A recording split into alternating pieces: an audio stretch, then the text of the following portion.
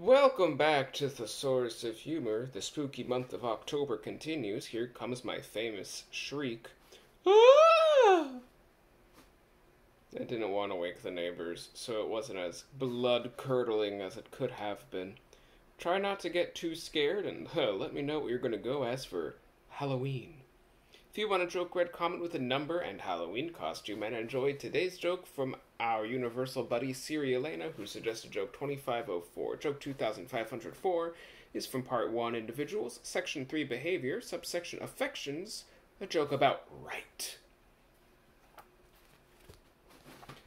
How do you get along with your relatives?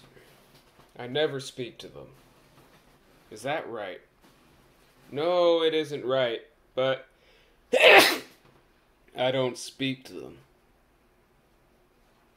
The sneeze wasn't in there, but I like to think that back in the 1940s when this book was written, instead of having dramatic pauses for effect, they would just sneeze on each other's faces to suit the same purpose. Oh, how I wish we could go back to those simpler times.